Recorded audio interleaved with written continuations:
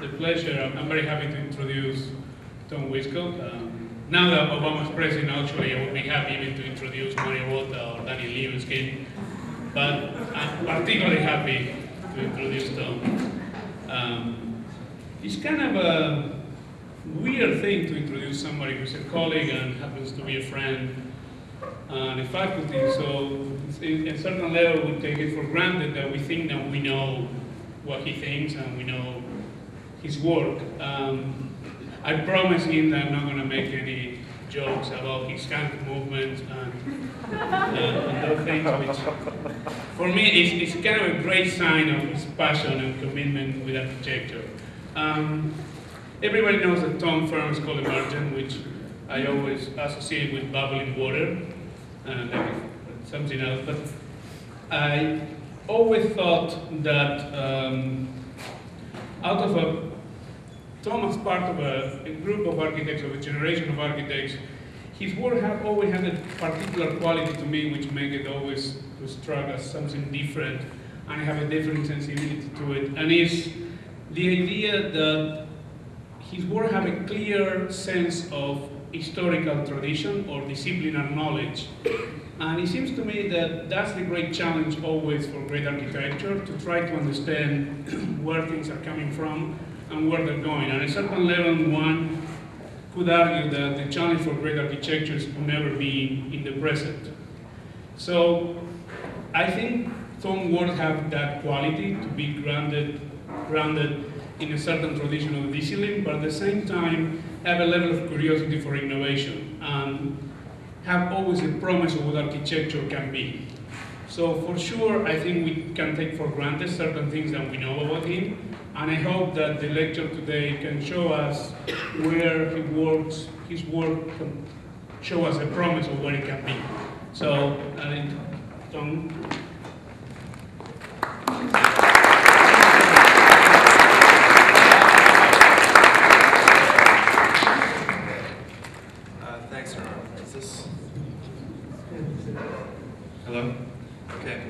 think, Tom. thanks a lot, Hernan, and, and um, thanks to SCI-Arc for having me here. Um, I've been teaching here for about two and a half years this time around, and um, it feels like, to lecture here feels like to be almost re reintroduced, and that's a nice thing, I guess. Um, because as Hernan said, you know, you can teach here, and, and I guess your, your views come out in, in reviews and in your classes, but, but it's, it's really, for me, it's quite different than having a chance to really um, go on and on about about um, about the work. Hopefully not on and on and on about the work. Um, so yeah, so and of course, as architects, uh, always have I have too many slides. So if I start skipping through, don't be concerned. Um, I may do that. Okay, so I want to start with this image, which is something that motivates me to uh, to do most of my work. Uh, uh this is a picture of of really 99% of architecture. It is a picture of, of ductwork on the ceiling, uh, not at all integrating with the structural system or the tectonic system of, uh, of the rest of the space. So you have a, basically a, a CMU wall, you have glulam beams, and then you have these ducts which are completely at odds with one another. And um, I guess I would have to say that my work is probably distinguished by the fact that it, it, um, it takes on the relationship between building systems and um, in particular structural and mechanical systems and in an effort to kind of resolve these differences, not necessarily to make them homogenous, but, but um, to try to find new kinds of forms and new spaces through the, the negotiation of different kinds of building systems. So I guess, you know, structural, mechanical, and also building envelopes. Um, so here's a good model for, uh, for a lot of our work. This is a, a giant lily pad. It's five feet in diameter, and the interesting thing about the lily pad is that it tries to maximize its surface area uh, um, to maximize photosynthesis. But of course what starts to happen is that the leaf folds down underneath and it begins to sink. So it develops this huge veiny um, under, underbelly which, um, which supports it. And it has two different kinds of qualities to it. One is a branching system that branches more and more um, towards the outside, and then also this kind of uh, micro branching inside of each cell, which supports the leaf, uh, uh, which creates a kind of continuous structural system. Um, if you look in nature, one thing that's, that's, uh, that's everywhere in nature are, uh, are um, multi-optimized or multi-objective systems. In this case, if you look at the buttress tree on the right, it's, it's, uh, it's a kind of tree that grows anywhere where the, the ground is, um, sorry, this keeps turning off. Anywhere where the ground is, is very soft. And so it develops these huge webbed roots that, um, that give it structural support. Uh, but of course, it's not an idealized structure where it would grow out in a star shape, let's say a six-sided or seven-sided or eight-sided star. It is also responding to the differential qualities of nutrients and liquids and chemicals uh, uh, in the ground, and so it. Uh, Should I just stay here? Okay. Hello. Hello. Okay. Hopefully this works better. I'm just going to try to stay still here for a second. Um, so anyway, what, what you end up getting is a. Uh,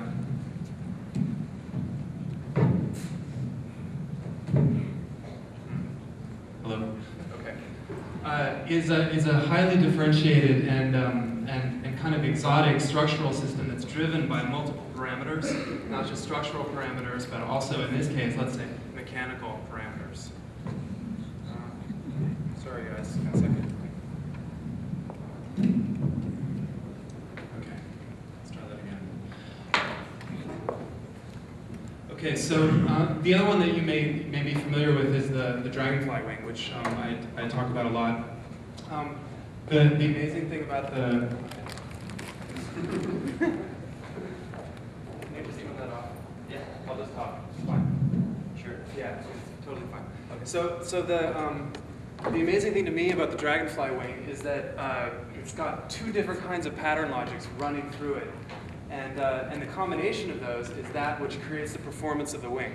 So uh, um, the first pattern logic is the kind of ladder logic, which you see on the leading edge of the wing, uh, which, which operates like a beam, so it operates in bending. And that's also where uh, material begins to accumulate um, to create uh, again, uh, stiffness in the wing. And that's also where you'll find in section that there's pleating going on in the wing to increase the performance. Now back here where you see honeycombing in the wing, uh, that's where the wing is very flexible and can move uh, uh, for the aerodynamics of the wing. The most interesting part of the wing for me is the hybrid area here where the ladder type geometry and the, and the honeycomb geometry starts to hybridize.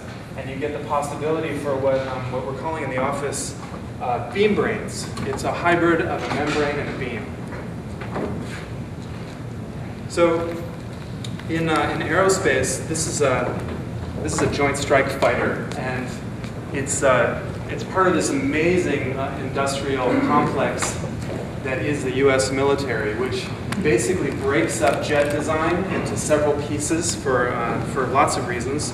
The first reason is, of course, security, um, to make sure that no single company has, the, has access to the entire design of a jet. Uh, but what's more interesting is that it's broken up based on the expertise of different firms. And, uh, and, and what comes out is a fighter which is based on a totally hybrid structural morphology, which, um, which is based on the expertise of each company. So you have McDonnell Douglas, you have Boeing, you have Raytheon. All of these people are contributing to the design of this thing without actually seeing the other pieces. So what you get is a, a, a totally varied um, uh, structural morphology where you have different kinds of patternings, you have different kinds of materials, like you have in the, in the, back fins, and the ailerons is carbon fiber. You have aluminum egg crate, titanium, steel, and it's all it's all hybridized into, into something which is actually very high performance. Um, this is uh, this is a lizard skin. It's a desert lizard, and the, the, the really interesting thing about this is that um, all of this stuff, which appears to be very, very ornamental and, um, and beautiful, is also um, highly efficient um, in moving liquid across the lizard's body. It's actually designed, well, it's not designed, it, it evolved to it evolved to direct liquids across the lizard's back when, when, when water condenses um, to actually drain the liquid towards a lizard's mouth. So he captures the water in his mouth. So it's, it's quite amazing. You, you could, as an architect, understand this as a kind of uh, ornamental skin, or you could understand it as something that conducts flows of liquids. Uh, here's another guy, uh, the, the mimic octopus. And, you know, uh, he's so interesting. It, um, actually, a lot of people know about octo octopi and about their, their penchant for, um, for shi uh, color shifting and for camouflage. This guy is different um, in the sense that he doesn't really color shift, but he actually changes behavior, which I think is actually much more interesting. Uh, he, he, and nobody really knows why, but he takes on the different behaviors of different creatures in the ocean. In this case, he's, he's, or at least the theory is that he's changing shape to become a turkey fish. And in this one, he's becoming some kind of, I don't know, like a sea cucumber. And here, he's a, he's a sea skate, you know, one of those flat fish on the bottom. And then there, he's a pair of sea snakes. He's actually hiding underground.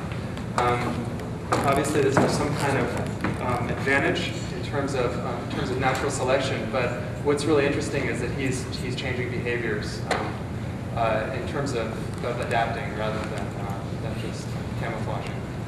So uh, maybe to loop this back into architecture a little bit, I, I would say that the work of my office um, is definitely uh, aligned to to an interest in nature and in biology and in adaptive systems and in anything basically that's about the local. This goes for structural systems in the case of Nervi, um, uh, where you're looking at local adaptation of structural systems in response to, to uh, uh, particular shaping environments. In this case, he is accepting the, the existence of vertical columns and he's letting the, the roof begin to differentiate and, and let forces flow into the columns. Whereas you have Mies, who is, in my opinion, a conceptualist, and it appears that he's interested in structure because there's structure exposed everywhere, and there are lots of elements exposed. Um, but in fact, there's no local differentiation whatsoever. Um, fact, he's gone out of his way to, to remove the columns to the exterior of the roof. There's no differentiation in the depth of the roof based on where the columns are located. And it's basically about kind of infinity. Does this one work now? I'll try this again. Um, there's a kind of infinity and a, and a, um, a universalism implicit in the work of, of Mies. So, um, now, this car, this is the Mazda Furai, which is, which is something that, that intrigues me because it, is, um, it was sold when it came out recently, actually just last year, it was sold by, by its designers as, as extremely high performance. And of course, these air intakes here are intended to be, you know, uh, uh, intended to cool the engine, um, uh, we are told.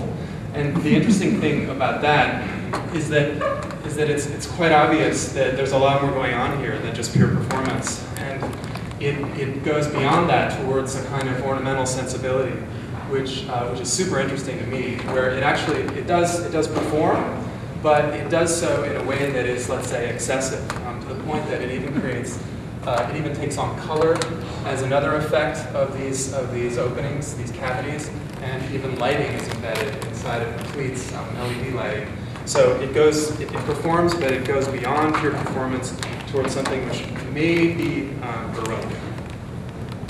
Now, uh, yeah, fashion armor is, is really cool to look at because uh, you'll find um, when you're trying to optimize weight and strength in armor, uh, you have to use a lot of different geomet geometrical patterns in surfaces in order to increase strength.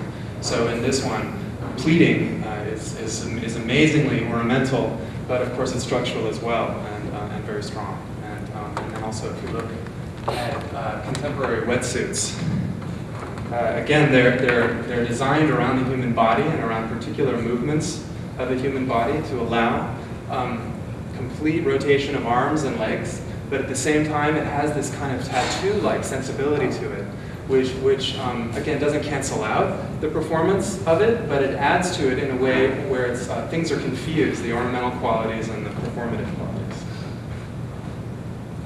Um, this is something that I've been looking at for a couple of years and I haven't yet been able to figure out how to do it at the architectural scale, but it's something that I intend to. Uh, and that is structural color. This is the wing of a Luna moth, and it's not just a black and white image of the Luna moth wing. In fact, moth wings um, at the nanoscale are white. They're color colorless, and they're optimized for weight, which means they have a lot of pores in them, and for strength, obviously. But the most interesting thing about them is that these pores are simultaneously uh, um, uh, um, organized to generate color. So different pores have different depths, and that allows different wavelengths of light to penetrate, generating color. So you have, again, a kind of multi-objective environment here where uh, structure is optimized and operating, but you also have color effects that come out of that. Um, here's another guy who does that. This is the bloodcomb jellyfish who uh, amazingly is actually two creatures interwoven. Uh, they're co-evolved together. The one creature is, is, a, um, is a transparent jellyfish which, which moves itself around by rotating these combs. And the other creature is bioluminescent bacteria. And basically, it's a negotiation between the two where, uh, where the bioluminescent bacteria gains access to more food and has kind of safety by, by being embedded in the, in the combs. And the jellyfish gets these color effects, um, which, which uh, when blended with the uh, sun bouncing off the water above, creates a kind of stealthing mechanism for the jellyfish against its predators. Now, in the office, we tend to work with hybrid geometries, things which try to do more than one thing at once. And we started to collect these geometries into a kind of almost insect collection. And uh, they're hanging all over the wall in the office. And these are just a couple, I wanted to show a few, um, where, let's say, the, the one at the top starts to take on the issue of primary, secondary structure, and, um, and floor slab. And it starts to hybridize it to create something which is um, through pleating, which is structural, but can also possibly conduct um, uh, mechanical flows of, of air or liquid. And the one below that is another option, which is the surface. If that's the surface to pleat, this is the surface to armature, which is where a surface can actually sprout and reconnect to itself to create a kind of primary structure. So you have an extreme, extreme division between very micro and very thin, and very heavy. So you have sort of primary and tertiary, but you remove the secondary construction. And this is another one which goes from uh, a, um, a shell-based structure to a vector-based structure, uh, um, or a surface-to-strand structure, which is what we're calling it around the office. And that means basically that you, you design a shell that, um, that can differentiate between opaque and open, and it can start having ribbing that, can, that, is, um, that is depth variable.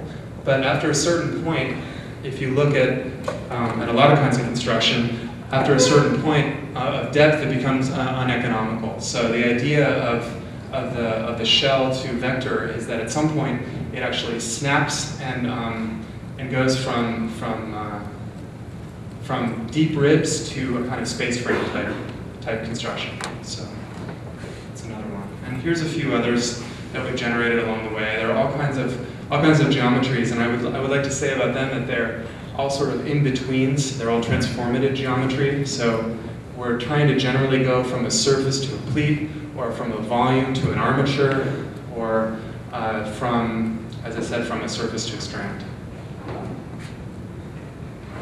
Um, so as I said before, biology is a, it's a huge, um, it's a huge uh, inspiration for, for the office, and not just in terms of like this collection of animals that I'm showing, but also in terms of evolutionary processes.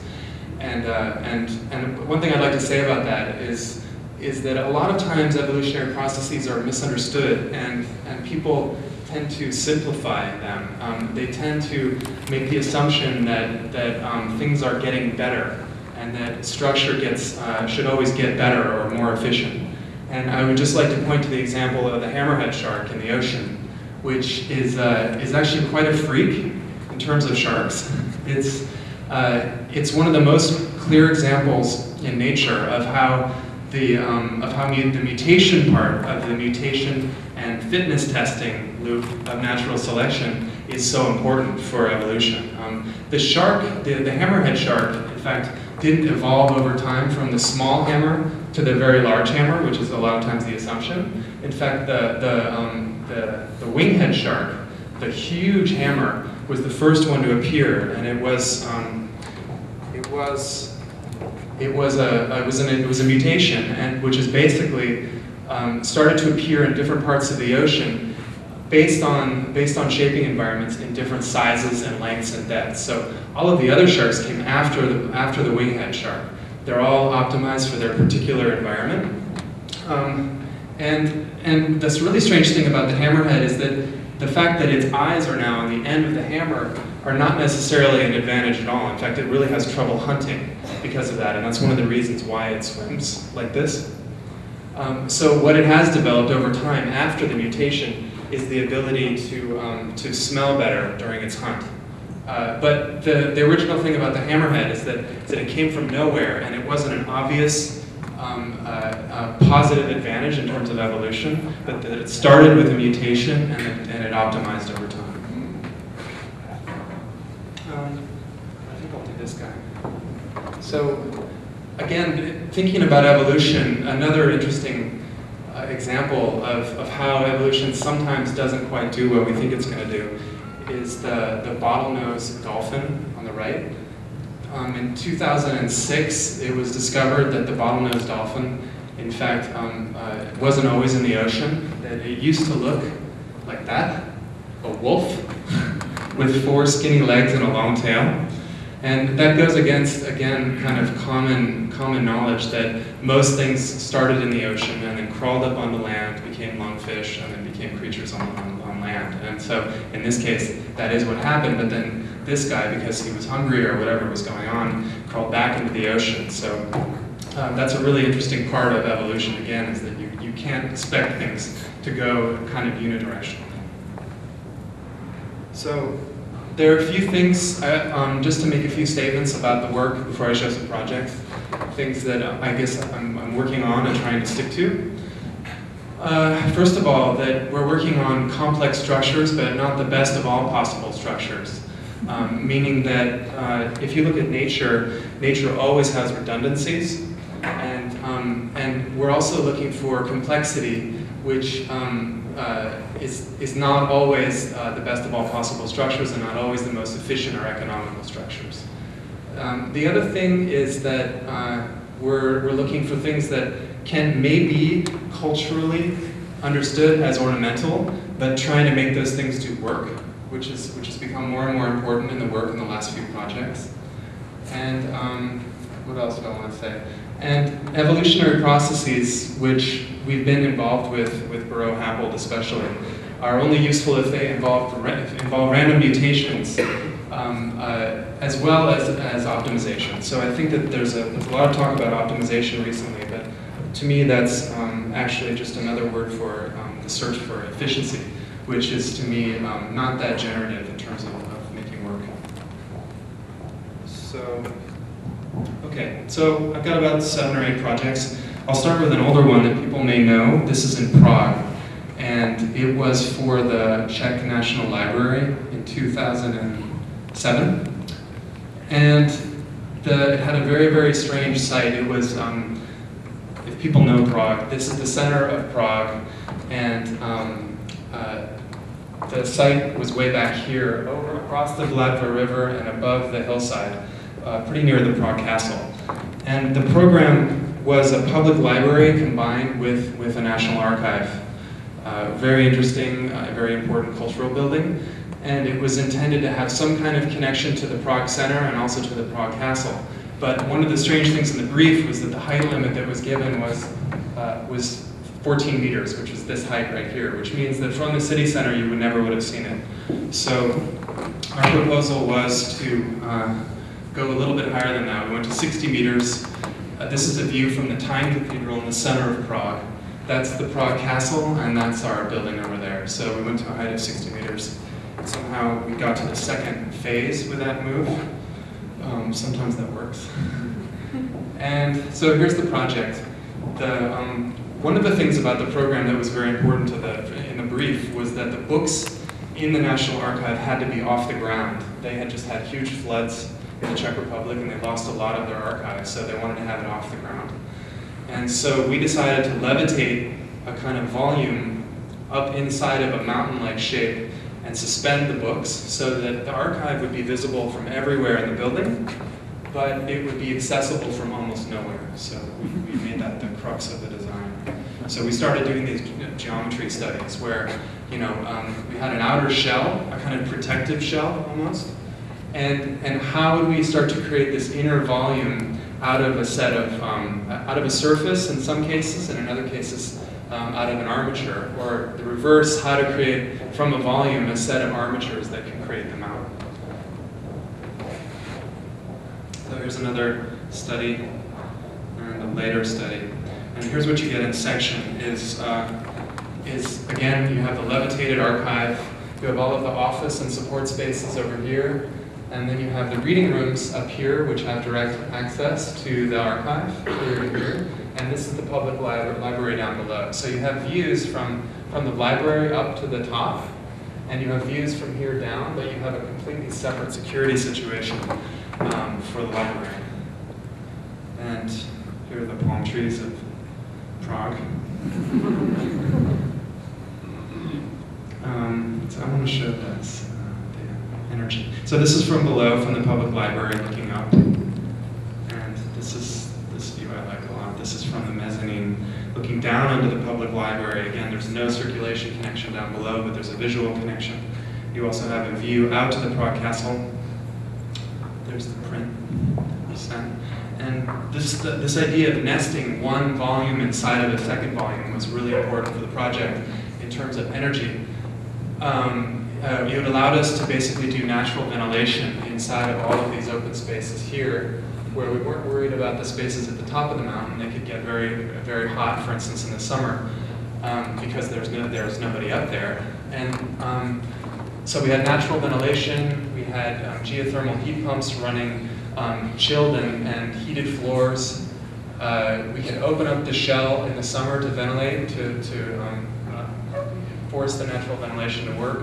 We also um, did uh, nighttime uh, flushing of hot air in the summer, and I guess most importantly, it was a completely separate buffer zone out here than it is inside of the archive, which is um, incredibly tightly controlled in terms of, of humidity and, heat.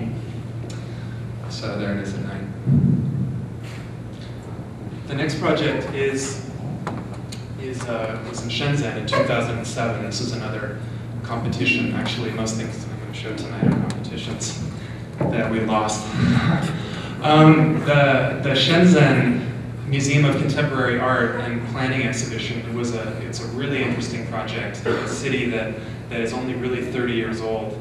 Uh, it's built up uh, very recently and there are some, there's some huge, in my opinion, some huge zoning and planning mistakes going on there right now. Um, this is the center of the, uh, the Futian district where there are some, it almost looks like American city planning in Washington, D.C., where you have, you have huge setbacks from the street, you have relatively small iconic buildings in the middle of large blocks, um, and the buildings are so overscaled it's quite overwhelming. Like the city, the civic center is 300 meters, and this thing in the middle is the biggest book, uh, bookstore in all of China. Um, so our site over here um, was intended in the brief to be the final corner in a mega Chinese uh, courtyard house kind of thing.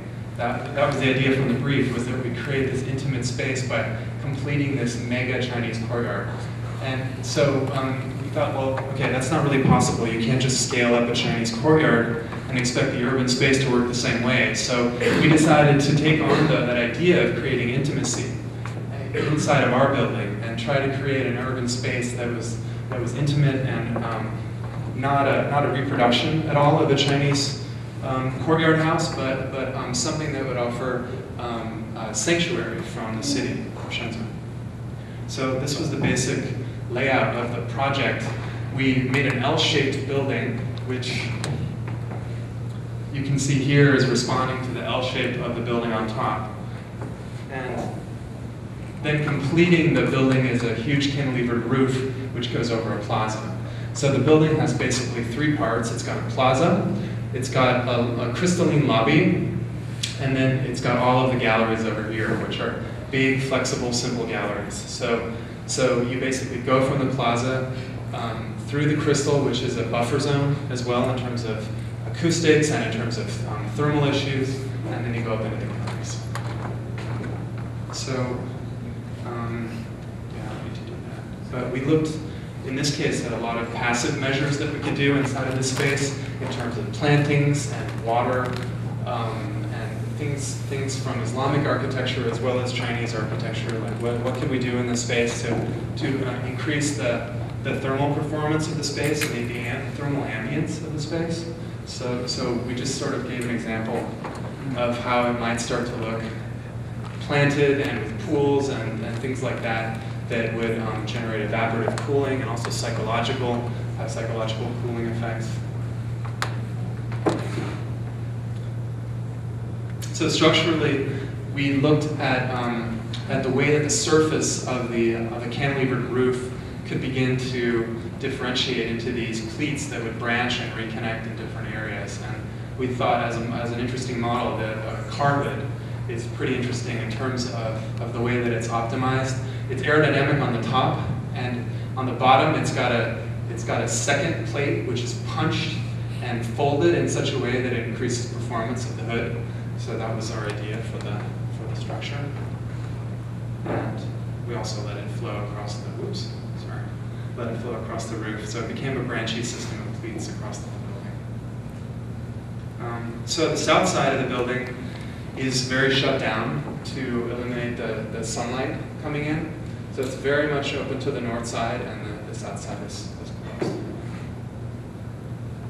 Here's the interior. So um, the plans are relatively straightforward in terms of the column grid, and, and they're, they're intended to be extremely flexible, which was asked for in the program, and we, we took the liberty of kind of uh, designing ceilings in some of the spaces just to see how that would go, but otherwise leaving the, the floors open for the curators. So, uh, the next project, called the Novosibirsk A and D Pavilion, was another competition. It was, it was also in 2007 in the summer. And um, at that time, we were looking at, um, at, at Nervi again. Um, we'd recently been there actually with a class. And we were at St. Mary's Cathedral, which is an amazing concrete lamella or grid shell um, uh, design. And at the same time, looking at other kinds of biological patternings where you have a massive differentiation between cell shape and cell size, like on an alligator back, where you have armored cells on the back of the thing, which are very thick and rectilinear, and then you have very small round cells near the arms of the, of the creature so he can move around. And so we use that as a point of departure for this pavilion that we did. Um, so here's one of our chunks of geometry that we made it, um, it, it has a nice quality that there's massive cell, cell change, cell size change, but also it's got linear elements running through it. Um, uh, um, but at the same time, it's a kind of open-ended pattern, and that's something that's, that we've picked up on in quite a few projects where um, you can have a cellular pattern, but you can also have, have linear elements running through it. So some other studies of how we might um, add curvature to the pavilion. Um, in order to support the shell. And then some studies of how we might have a larger surface with a couple of, um, of huge col columnar-like elements. They're not actually columns, but they're actually um, uh, inflections in the shell. And again, like transformation between surface to pleat to strands, which are glazed. And then some more studies of, of this kind of geometry, which goes from a branchy system to a radial system to a grid. And so here's the project. Um, again, we, it's basically a huge surface which is, which is, a, um, which is curved, which definitely helps it operate as a shell, and then it has these additional double curvatures twice in the roof, which, which assist in the structural performance. But then the idea of the patterning is that it responds to two things, both the curvature, so where there's more curvature, there's more cells, but it also um, responds in terms of depth. So, so where none of these systems is performing optimally, we can begin to, to vary the depth of the different members to, to, pick up the, to pick up the difference. So again, it's a non-optimal structure, but it has different ways where you can insert yourself in the design process and, and add variation in order to increase the performance of the piece. So, not working. That was a video. Not working. Okay. So, yeah, so here it is from the street. Uh, that's the entry on the left. And at night, some of the patterning. Okay. So, I think we're gonna, I'm not gonna show this. I'm gonna, sorry about this. I'm gonna show PS1 for some people who haven't seen this. This is for me now a really old project, but um, I like to show it because it was, it was technically um, one of the earliest projects of my office. This is the PS1 gallery, which stands for Public School One. It's in, it's in Long Island City, New York, and I think probably everybody here knows about the PS1 competition. Um, uh, it's been done by a lot of people at this point. It's been going for 10 years. They're starting a new one again.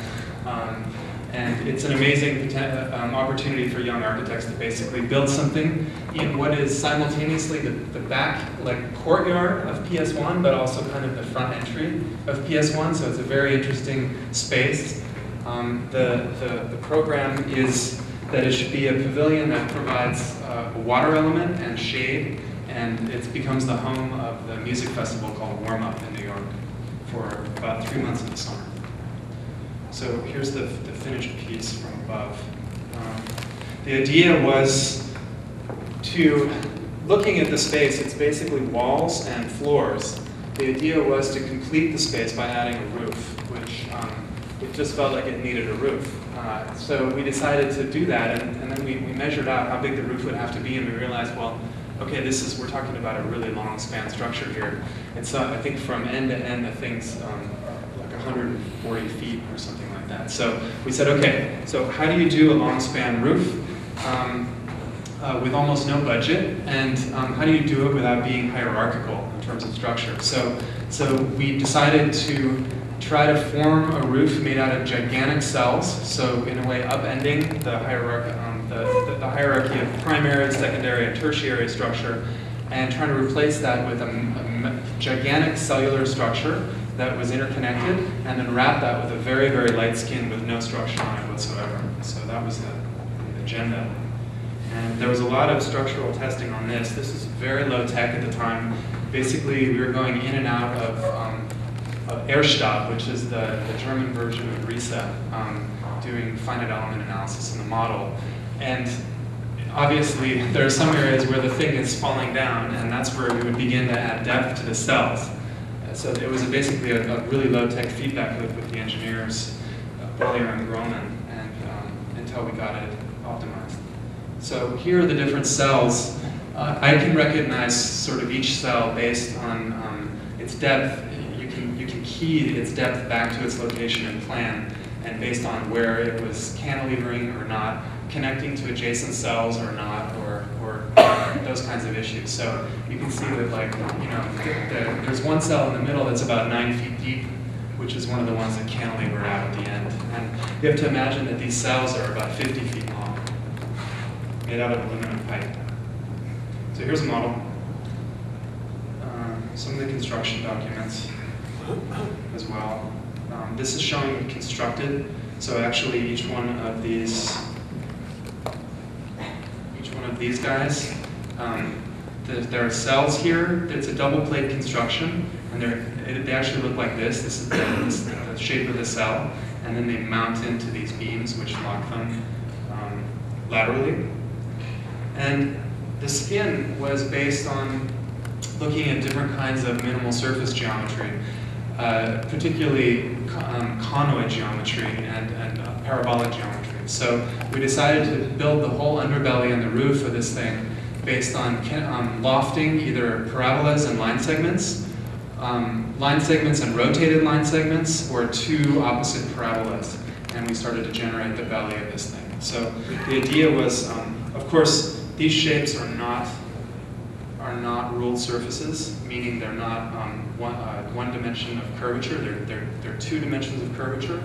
But um, certain materials are able to pick that up and you're able to bend them. And so we went on a big search for different kinds of materials that would do that. And so the one that we landed on was expanded aluminum, which is a really cool material because it's, um, at the minute you curve it, particularly in more than one direction, you give a little bit of torque, it becomes very stiff. So what you have is a whole series of little micro vaults on the underside of the roof here, which keeps it very stiff. All we had to do is connect it at the bottom with zip ties, and all of these vaults keep it from sagging, which was our biggest concern. So here's the, the skin unfolded for that. It was mocked up underneath the bridge before we built it, PS1. There's some half cells we're trying to move. Um, couldn't move them to the site from where they were constructed because we didn't calculate for the, the low-hanging electrical wires in Queens. So we carried them. Uh, and then here's some guys, actually ex-SCI-Arc students, um, uh, uh, putting on. Actually, a lot of the construction team were SCI-Arc students that flew out to New York. That was great, um, putting on skin. So one thing that we found out once we started playing around with this material was that it picks up light completely differently when you have it oriented one direction, it's, it's diamond shaped, one direction versus another direction. And what we found out is that um, we could create a day-night effect where it's rotated in one direction for the outer skin, and then the cells are also clad in the other direction, and they have lights inside of them. So at, in the daytime, you read it as a, as a solid shade structure, and at night, you read the structural cells inside. So there's day. There's some of the.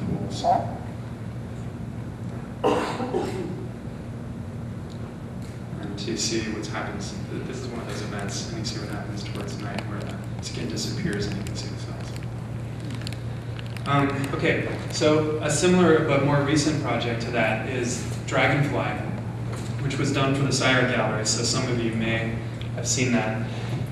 Um, the project is probably less spectacular, but to me it was it was um, it was a bigger breakthrough in terms of the work of the office, um, and that was a lot due to um, the cooperation with Buro Happold, uh, which was really exciting for me, and it enabled us to start to really um, really use some of the softwares that, that I've been wanting to use in terms of optimization of structures.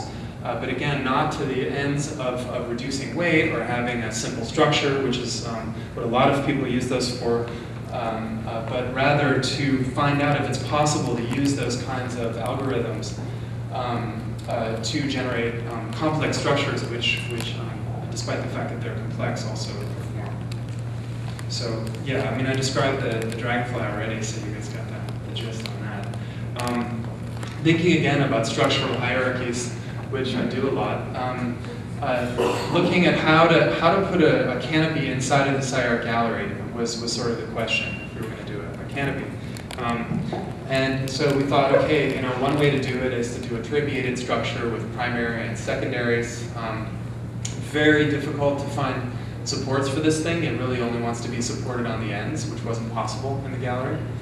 Um, another version is an egg crate structure or a two-way plate.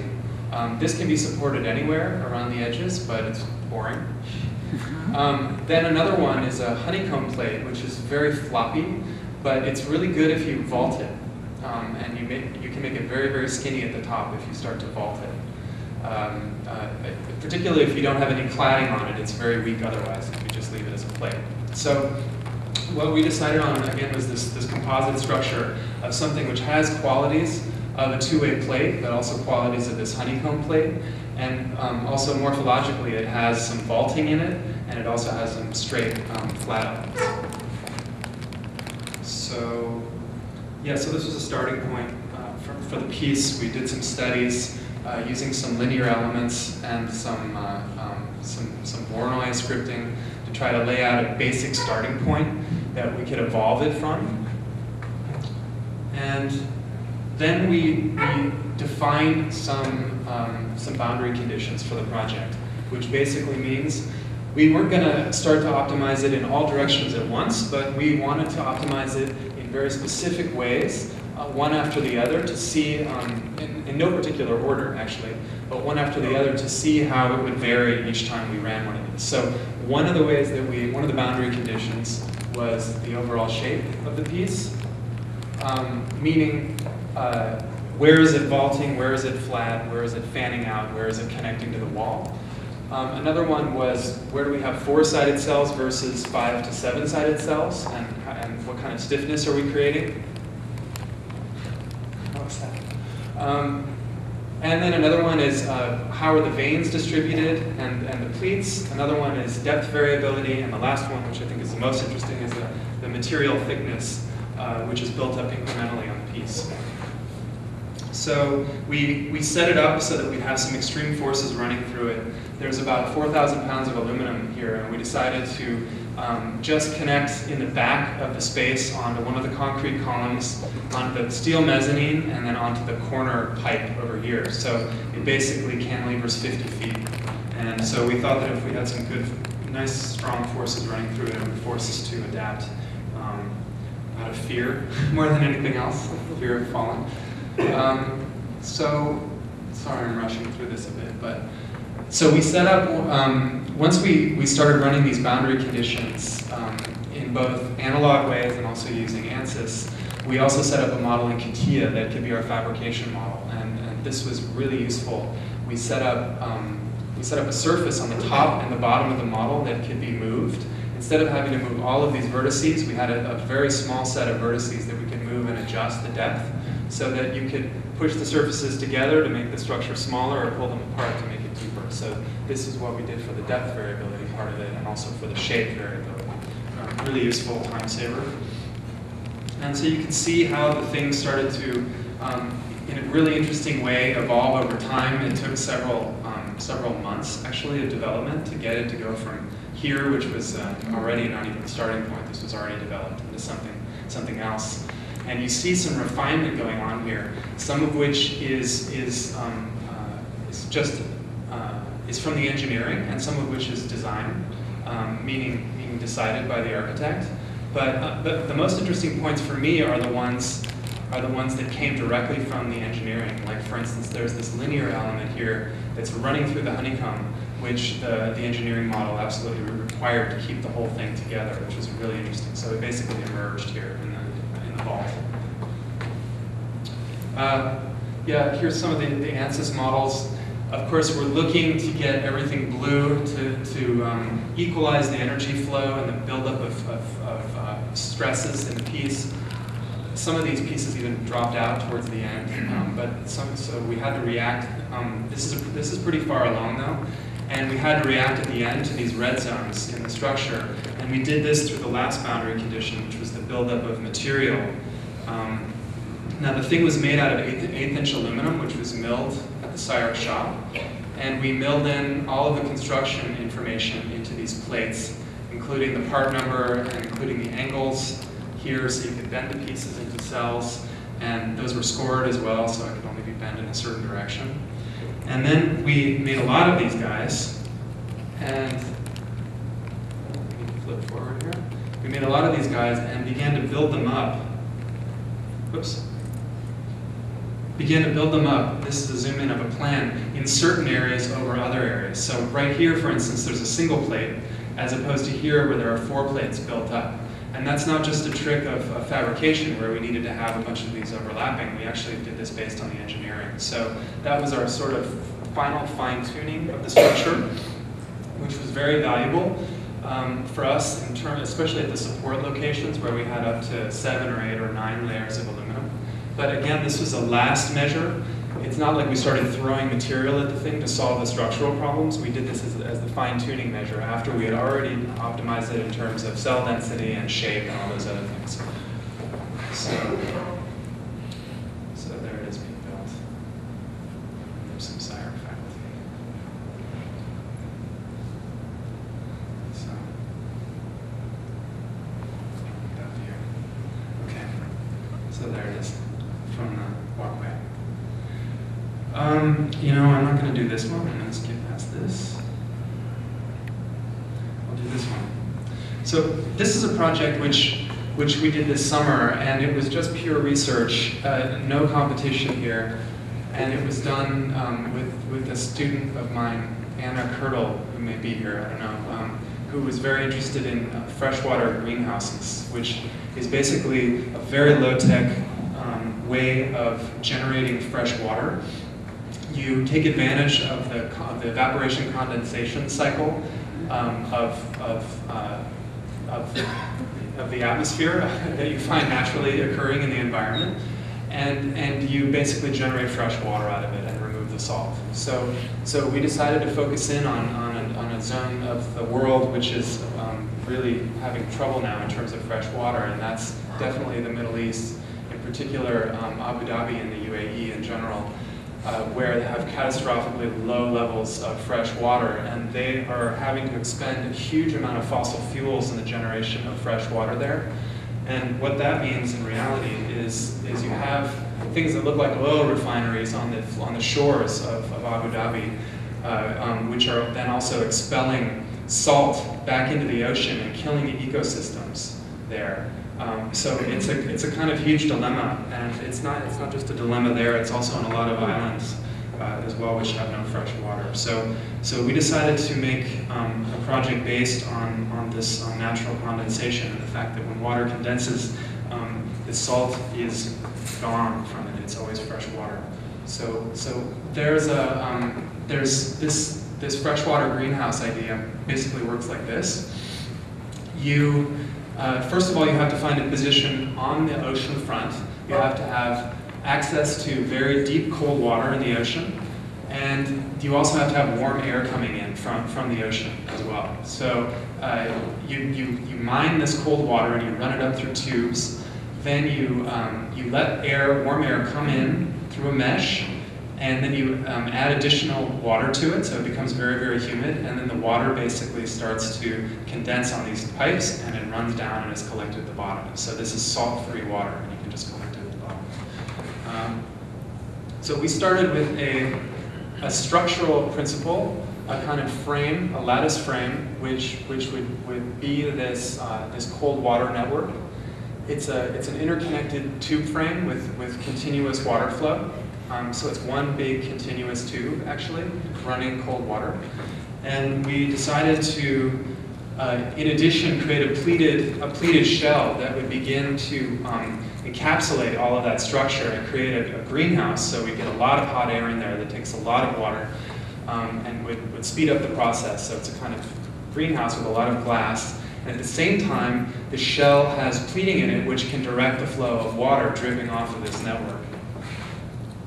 So here's the piece. Um, it's really not well worked out. It's just a concept right now, and it's being shopped around by a broker in the Middle East.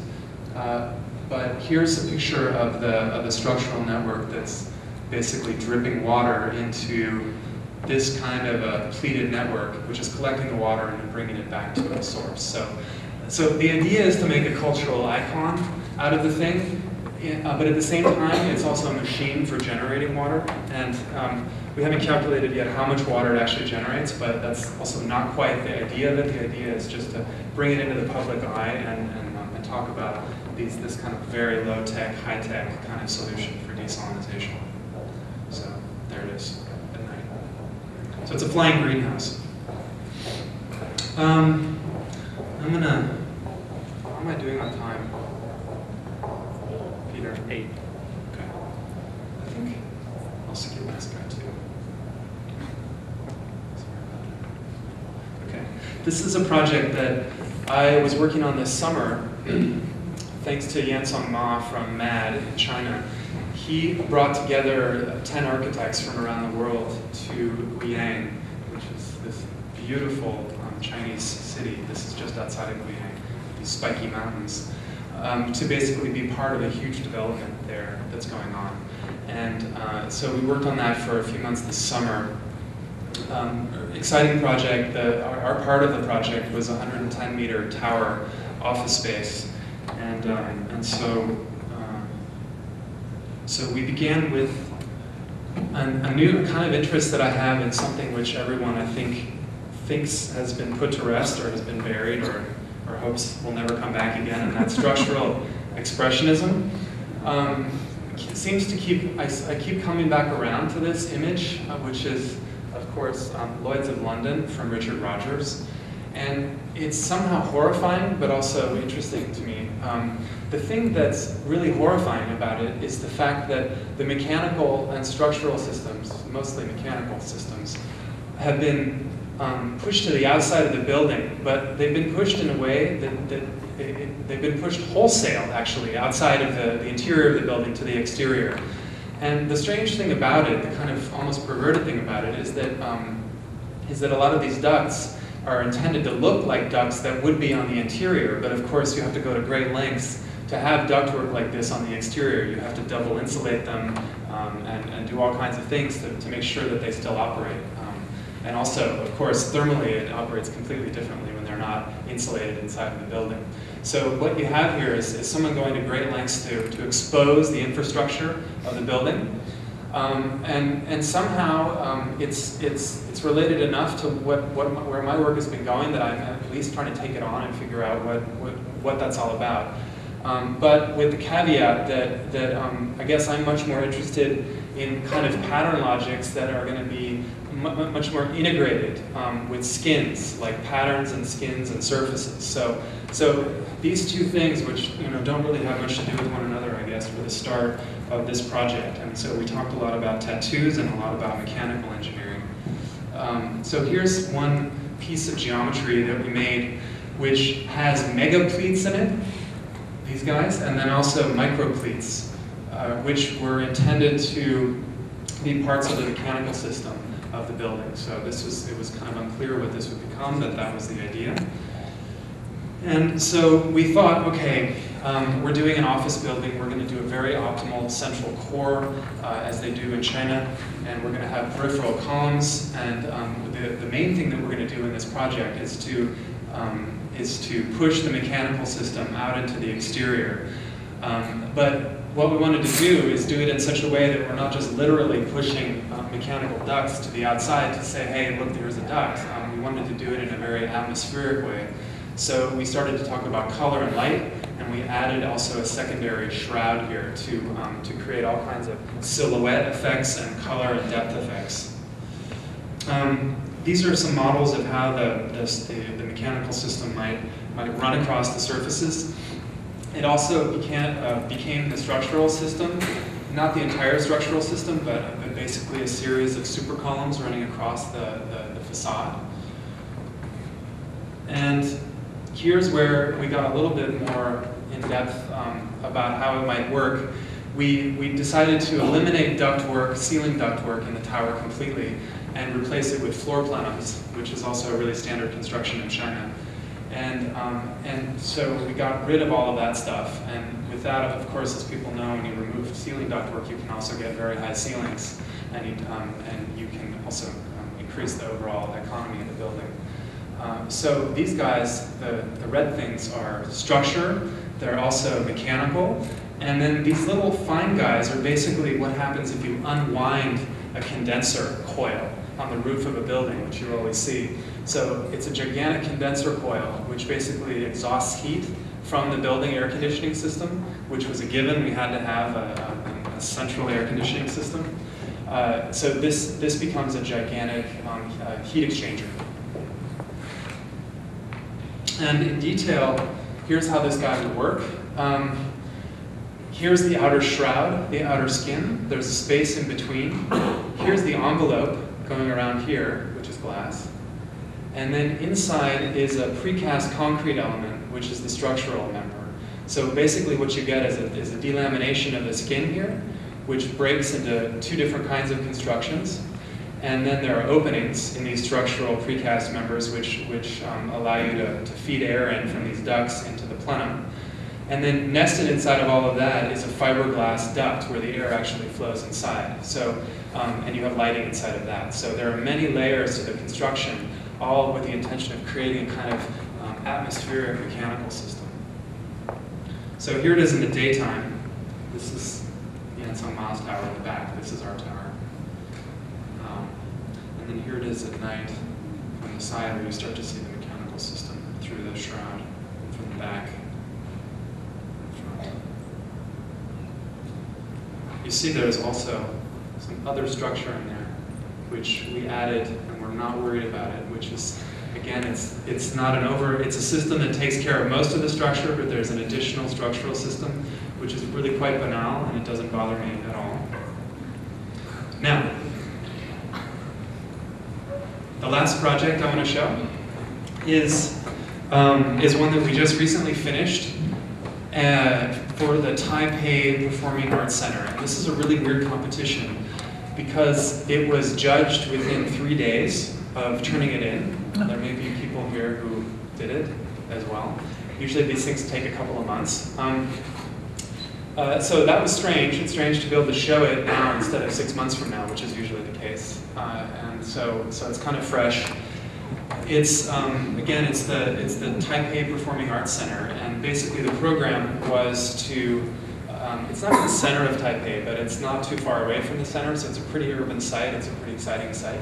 And this is the, the Shilin Night Market, which people may know. It's the kind of nighttime farmers market of Taipei. This is a major train line, and this is the site. So um, the program asked for three huge theaters. There's a, um, there's a gigantic um, uh, proscenium theater, there's a smaller proscenium playhouse, and then there's a multiform theater, which is basically a black box. And then they asked for the main entry and, um, and the whole building to open up towards this night market up here and also towards the train, which is where most of the people would come from. So the basic layout of our building was to stick to the sort of prescribed diagram in terms of the layout of the theaters and, and try to work out um, how to link them together um, using some of the other programmatic elements that they gave us, including um, some other cultural kinds of things like museums, but also shopping and restaurants and all these kinds of things. So, so, um, so this is the project. Uh, it's, it really is a box that, that holds the theaters, that it's incredibly functional and well laid out in terms of uh, the delivery and in terms of the backstage and all of that. Um, and then we have this much more articulated space in the middle, which we're calling a concourse. And the concourse is a circulation um, network connecting all the theaters together, but it's also programmatically independent, and, um, and it allows, it's a kind of urban space that's up off the ground. So, so it's, a, it's a bridging element that creates a plaza down below.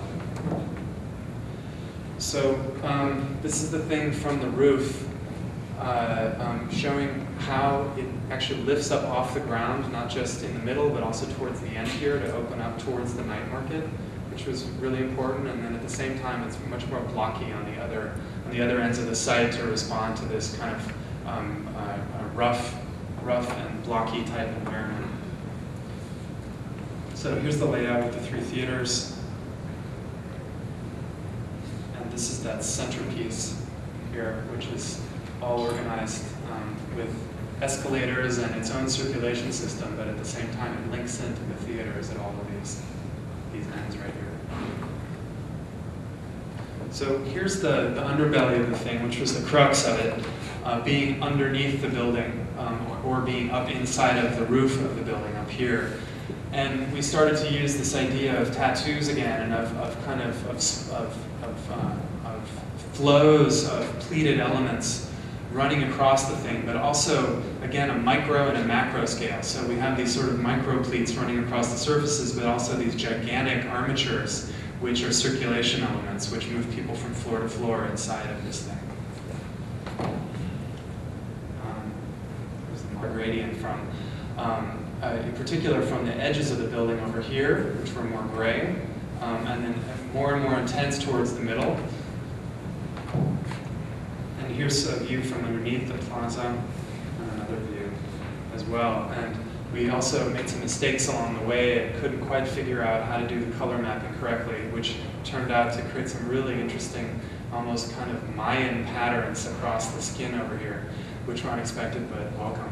Um, so this is the main view of the plaza and the, the concourse connecting all the theaters.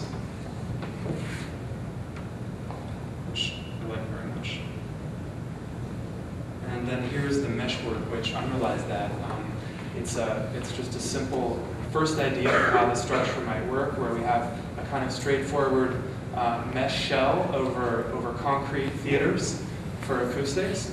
And this mesh shell would start to begin to um, be stiffened by all of these pleated members, which are, um, which are, are, are, custom steel beams, which are embedded inside of this meshwork. So you see that they, they're, they're much more intense and they're, they're more numerous here in the middle where, where it's bridging between the theaters. And, um, and in terms of the, the energy of the building, uh, um, obviously we wanted to have very tight thermal control inside of the theaters, but at the same time we wanted to be able to, um, to save energy and to make the, all of this concourse element indoor-outdoor, kind of a winter garden environment. So, so we, um, we also decided to, um, that these holes, these huge apertures in the belly and also on the roof would be really good for circulating circulating air through. So it's, um, it's a winter garden atmosphere where it has single glazing on it. Um, uh, and it's enclosed from the rain, but it's also, um, it's naturally ventilated. So here's the, here's the view of the thing from across the street from the train. And um, as I said, we, we did not win this project. Uh, there's, a, there's a second round going on right now. So, but but it was exciting for us and we learned a lot on this project. And I think this is the last one that I'm going to show tonight, although I wanted to mention that, uh, I wanted to self-promote, that this is a book coming out from the office very soon, actually I think in a few weeks, which was a big project for, for my office this summer and it was really exciting to make. Um, a really great chance through a Chinese publisher. Um, also one other thing that I wanted to mention there's uh, attached to my office, people may or may not know about this, is, is, uh, is a new business called Crystalline, which does rapid prototyping, which I wanted to uh, pump a little bit. Um, the, the, main reason for Crystalline, though, is that, is that I, I noticed in my own work in the last year or so that it's become more and more and more digital, and we've been more and more reliant on renders um, to do projects, and I'm starting to lose touch a little bit with the work. So I'm, I'm intently interested in getting physical models back in play. And so we decided to just go for it and also um, offer that as a service to other people in the community. So. People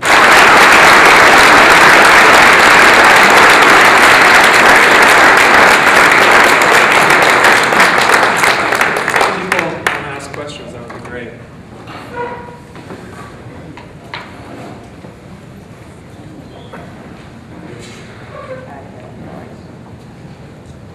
I'll ask. Peter? All right.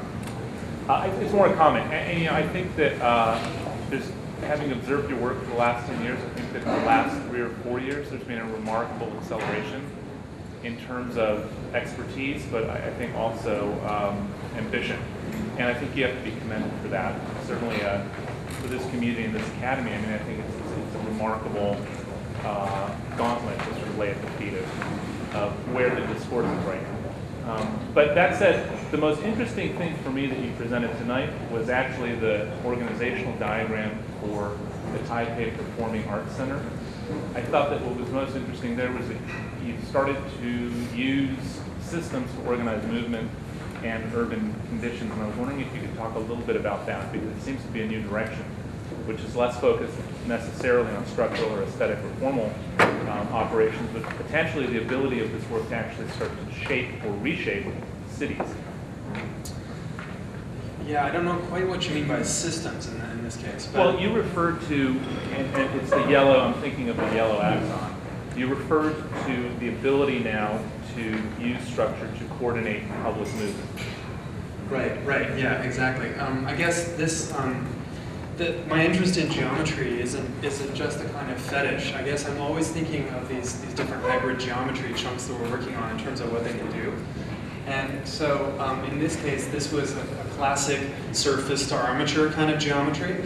And at the same time, um, um, we knew that we were going to be moving thousands of people around and, and between theaters. So, so it was a, kind of good, a good match. Now, how you do that, I guess, is everything. And so, so it was in this, in the case of that project, it was really important that that the building massing be relatively simple, and that we have a really articulated area uh, which would become um, create a kind of public intense zone, but at the same time move people up above. So yeah, I mean, I, I guess I, I, don't know if that's a. Well, I, I guess it is an urban gesture. Yeah, and I think where I'm going with it is, I mean, do you see potential in your work for generating urbanism?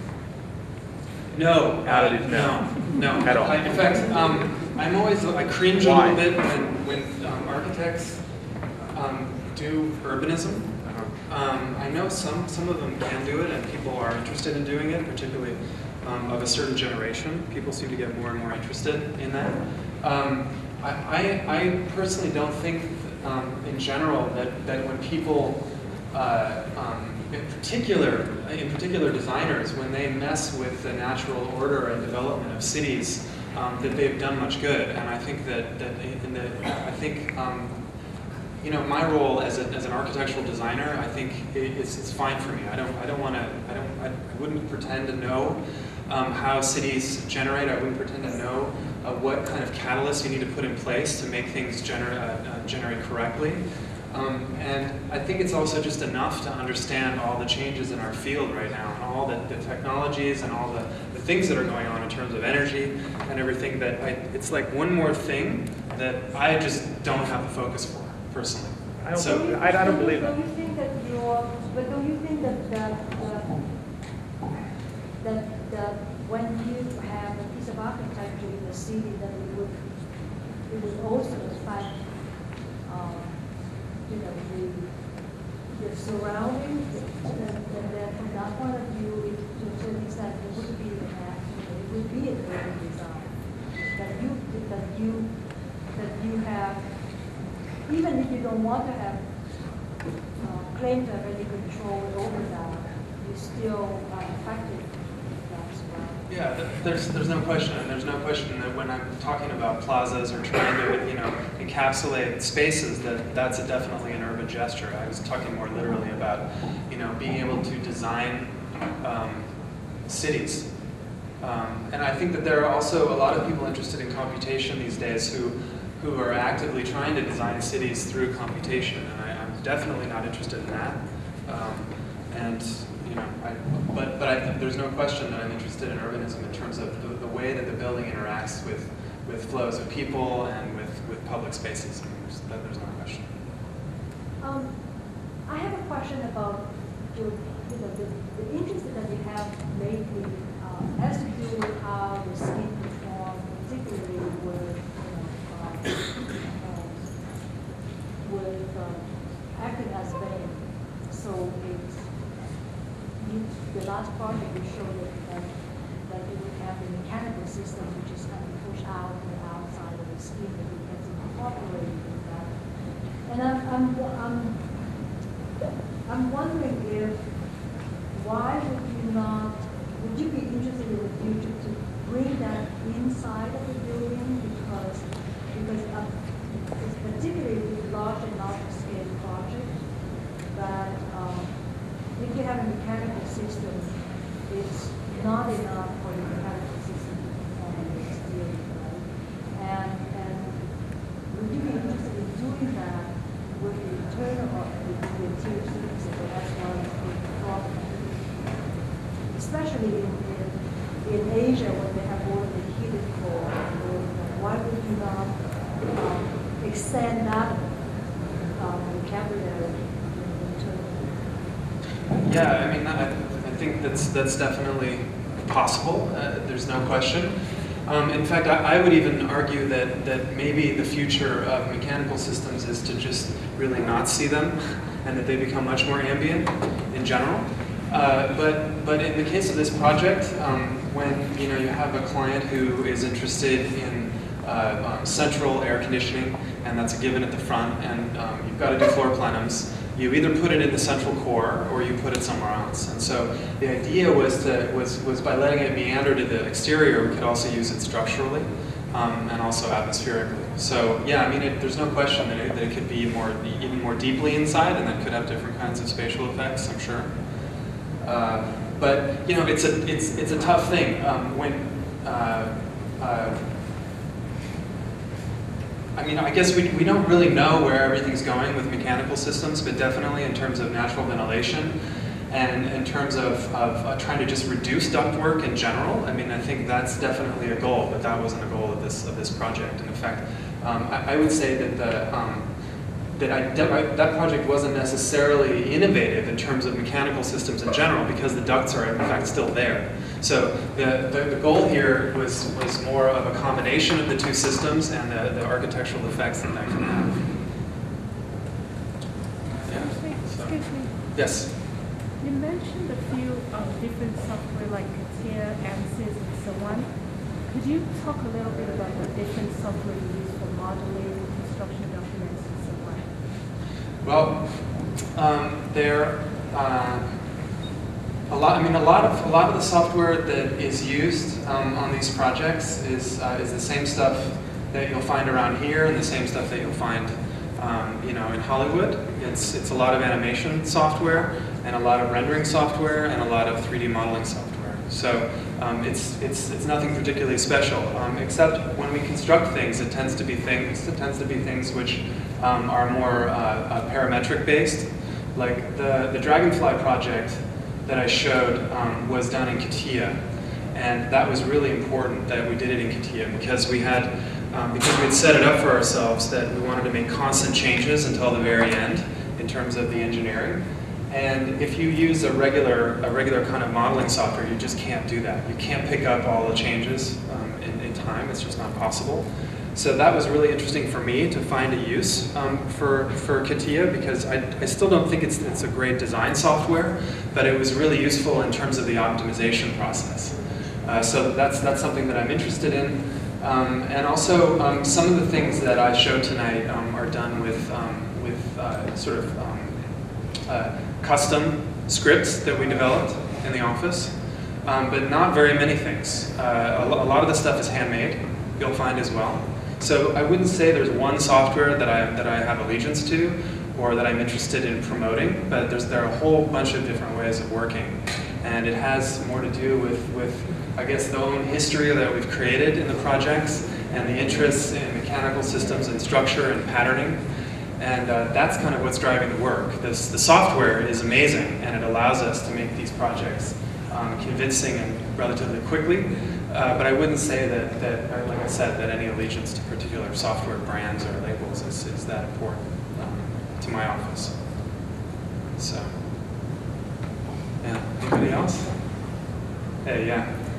I, I mean, I see that what you're doing is, is you're utilizing like a, a lot of stylized biomimetics, um, and uh, in some ways sort of like a, somewhat of a return to nature in one way or another. Um, but I'm wondering if you're using any uh, cradle to cradle technologies or uh, actual materials in the process that, other than just the elimination of certain, or the efficiency of certain structures. Yeah, I I think there are so many people working on that issue right now. In fact, um, my, my wife is working on that issue right now in terms of package design and those kinds of things. Uh, there are lots of there are lots of people interested in that and lots of people working on that. Now, I'm not an applied materials researcher, and I am more than happy to use um, to use uh, um, uh, um, sustainable materials. That's great, but that's just not really what I'm what I'm working on. I think that if you're going to do serious research in that area, that you've got to do you've got to really focus on that because there's so much stuff out there there's so much nascent technology um, there are so many opportunities but they haven't really been brought to market in a way that makes them totally available you know and the construction industry is still kind of business as usual so I wouldn't I wouldn't pretend that I could sort of you know juggle that extra ball on the side of, of what I'm working on already um, but I'm super excited about what other people are doing in that, in that arena um, yeah so, is that it? All right, guys, thank you. Thank you.